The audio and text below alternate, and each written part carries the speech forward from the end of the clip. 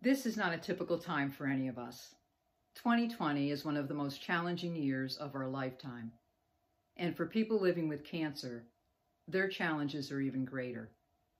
Our doors are closed right now until we can reopen safely, but we are still here for those who need us through our many virtual programs and our information line by phone or email. Cancer won't wait for the coronavirus to go away, and neither will Gilda's Club. People who are facing cancer need our best possible support right now. We can use your help to keep our virtual programs going strong.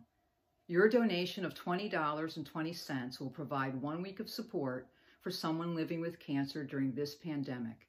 Your generous gift will help make sure a loved one, a neighbor, or a friend does not face cancer alone. We hope you will make your gift to our 2020 campaign today. At Gilda's Club, we believe that community, all of us together, is stronger than cancer. Thank you so much for your support.